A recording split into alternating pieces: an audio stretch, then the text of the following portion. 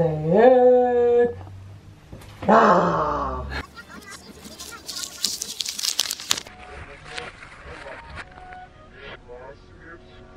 I wasn't happy with the job that was done here on the grout wall with the stain. It was a little bit bumpy and it didn't look good. So I wanted to go over it. So I just sanded it back. Now I get to do two layers of stain over it.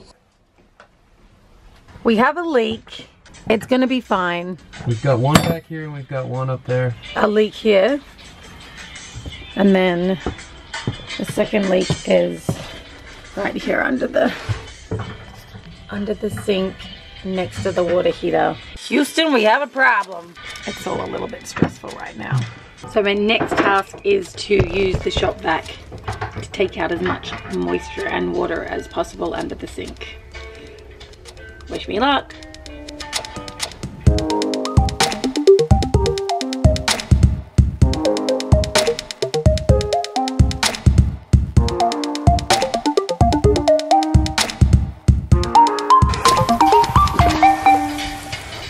Unfortunately, Boston isn't all rainbows and unicorns. Wow. Houston, we have a problem.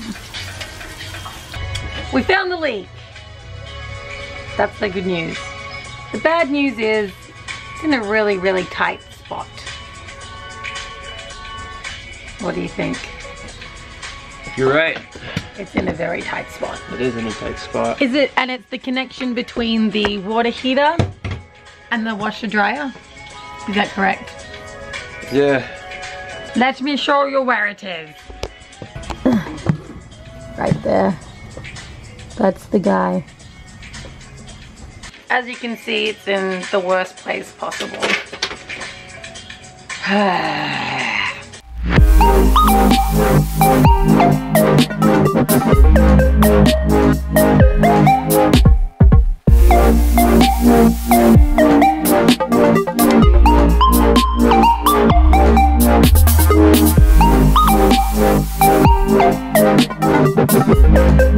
Must turn water off to the bus. Need to find where the connection is.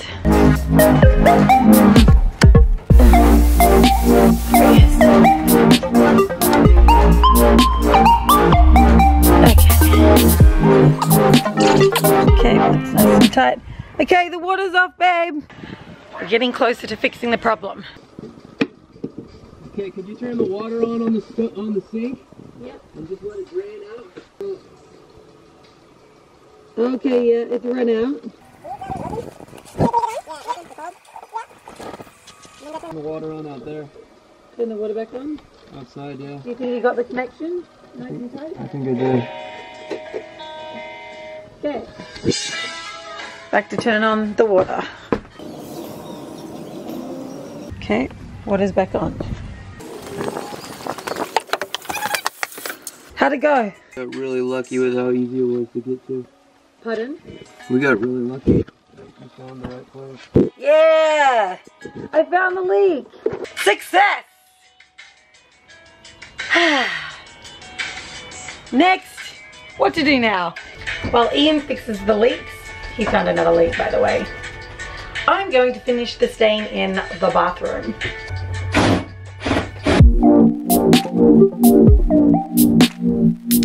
Did we fix it? Did we fix it? You just turned the water back on, so we'll find out. This is a test. Think we got it? Three leaks? Three leaks. Not one, not two, but three leaks. Good job, high five. that was pretty lame. Okay, last but not least, in the bathroom, I am going to silicon these LED lights to the grout, to the top of this grout wall. And then the bathroom will be done. Very excited.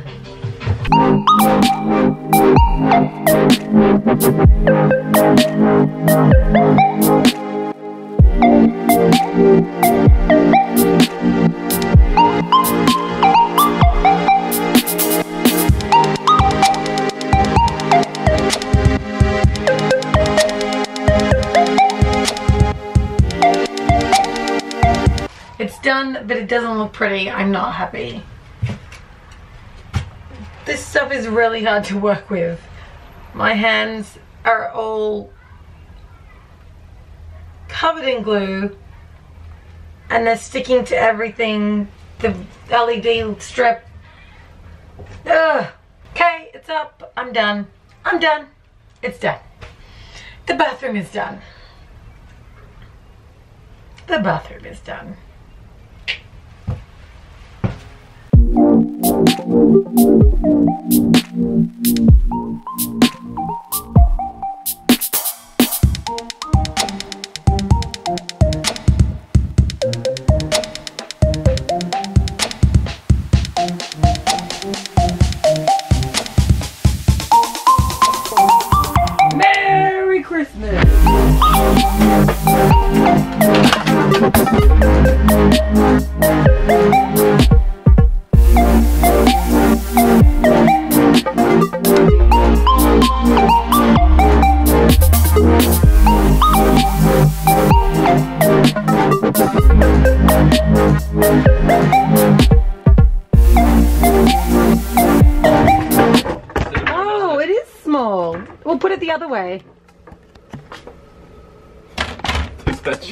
Babe. Oh my god. This way, like that. But it doesn't really have a. You just have to empty that. Anyway, doing right now, babe. So we have a six gallon water heater, and the water heater um, keeps six gallons of water hot all the time. And you know, whenever we're outside of the bus, I figure it's kind of cool to not have to keep the water heater on all the time. So I'm just gonna put a 12 volt switch here so we can switch it on and off really easily. Right now, the way I've been doing it is pulling in and out a fuse, but I don't want to do it that way because it's a little time consuming. Whereas if we just had a switch right here, it'd be easy. This is the switch, but I'm not going to use this one. this is this is some connectors, and then this is a board that I'm going to attach it to, and I'm going to write on it. That's going to go right there. What do you mean you're not going to use that switch, but you showed us that switch? This is a switch from this is an OG switch from the bus, and it's got all this junk on it. Dirty, clean.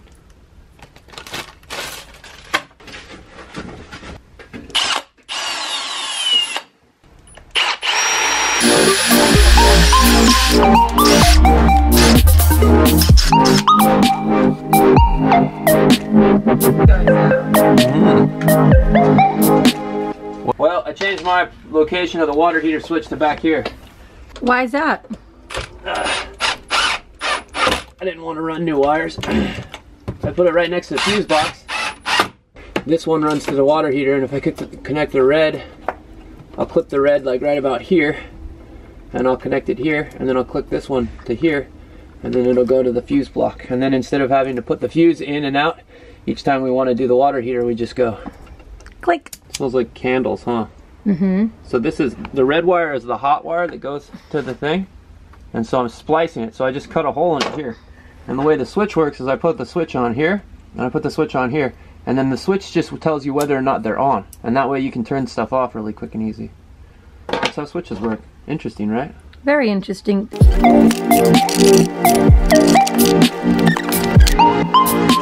What are you up to?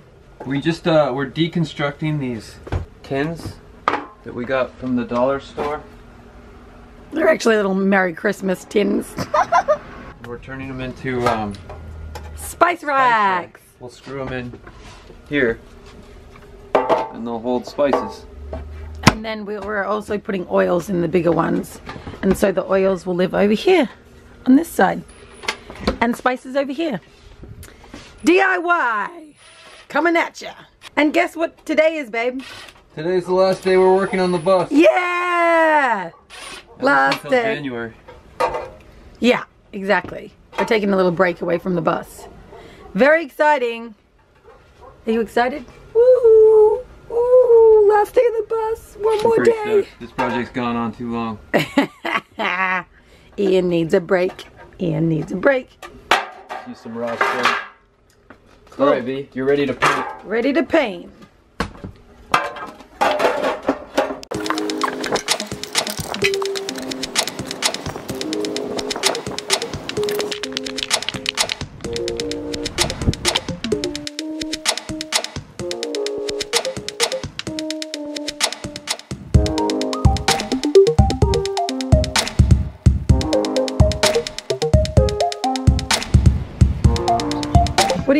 Now, babe? You're back in the cupboard with the fuse box. Right now I'm changing out these. These are 20 amp fuses and we use 14 gauge wire, which means that these circuits aren't rated to protect these wires. So what I'm doing is changing out these 20 amp circuits for 15 amp circuits.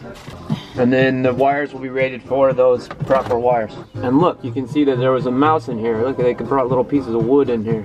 What? That's funny. Oh, those mice.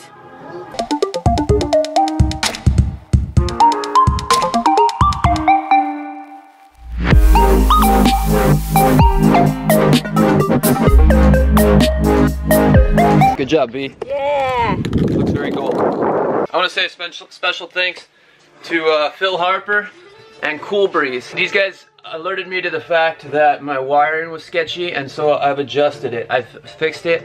I changed out my 20 amp breakers to 15 amp breakers. As you can see, 15 here. These used to be 20 amp breakers, but now they're 15 amp breakers thanks to Phil and Cool Breeze. They let me know that using 14.2 Romex with 20 amp breakers is not okay.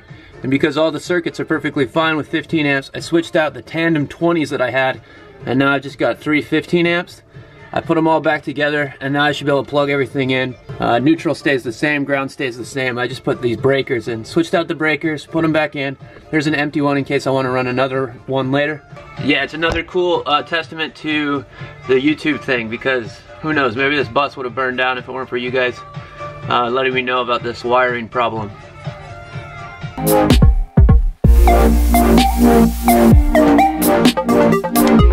Finishing up the trim now.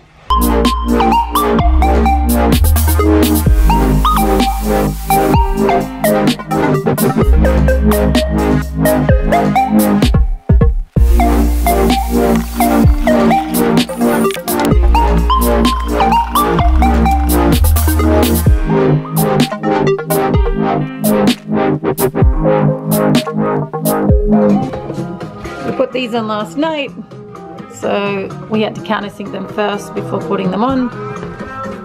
One hook there for our tea towels and towels, and then the other one for our little dustpan and broom. Yeah. It's time to put on our spice rack.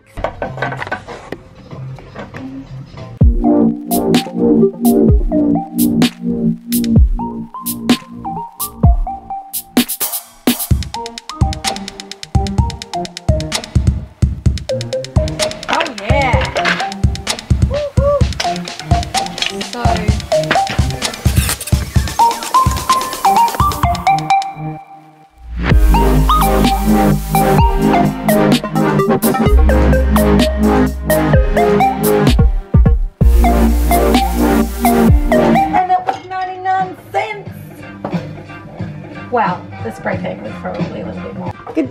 job!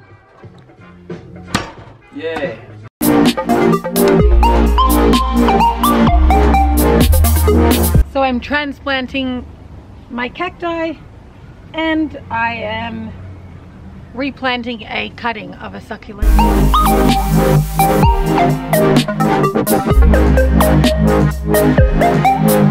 I think it needs, I think they need more soil.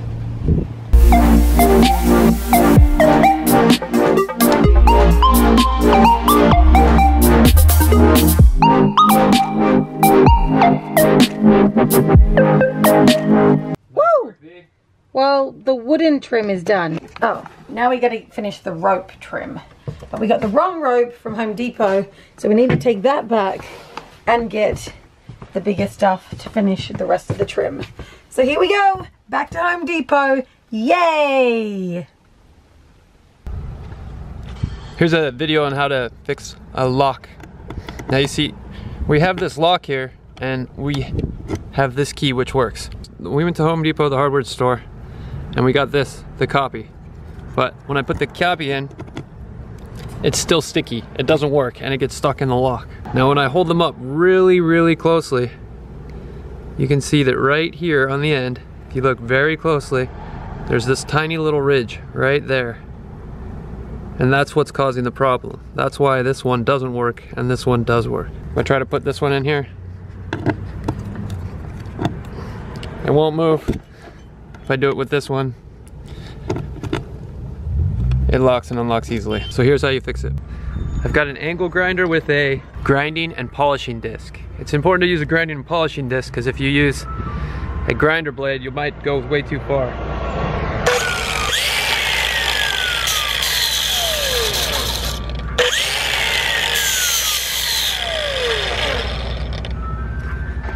I didn't need to take off much, but I just rounded off that little nub at the top. So this is the one that they cut up that didn't match, and this is the one that now works. If you look really closely, all I did was take off this little nub right here. It's got this little tooth. That's the tooth that was making it so the key didn't work. It's time to finish the trim with this 100% manila rope. Manila? Manila. I didn't know it's called that. You're so knowledgeable about rope. I just read the packet.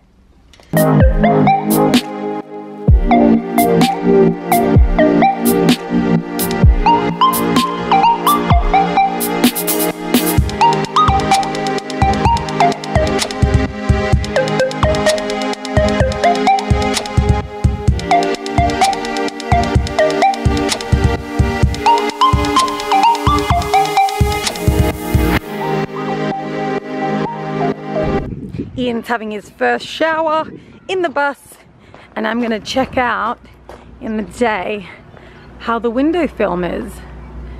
And this is the window here. Ian! Wave to me! Ian! Hello?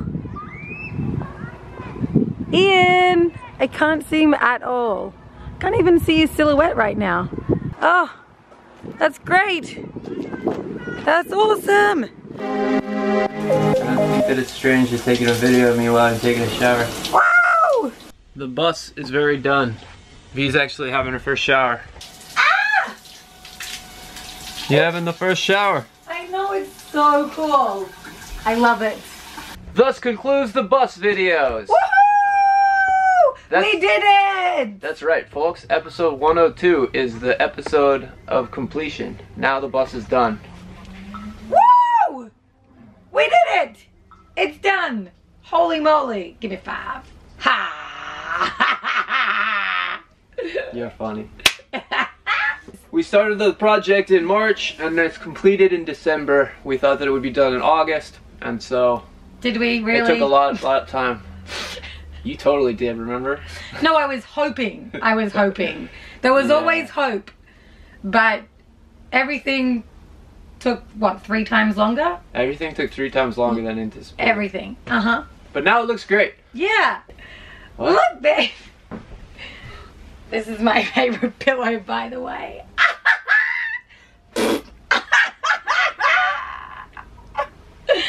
Just saying.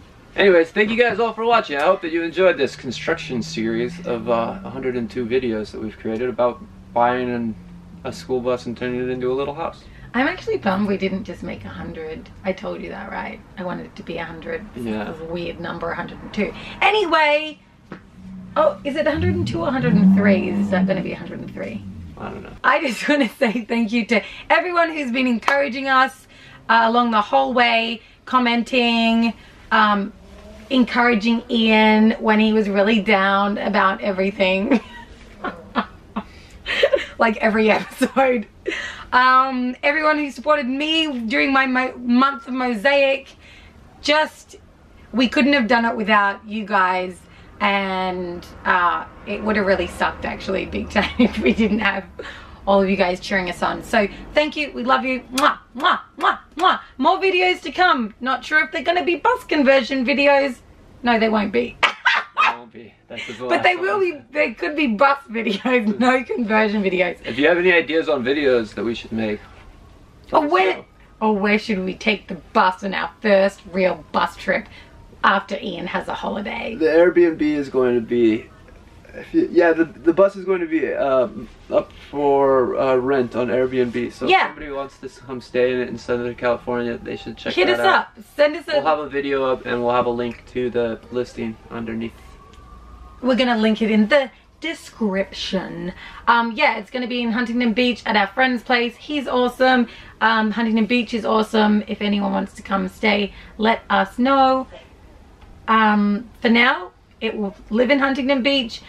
go up on Airbnb and we will not be here. We're going on holiday. We're going skiing. Bye bye to the bus for now.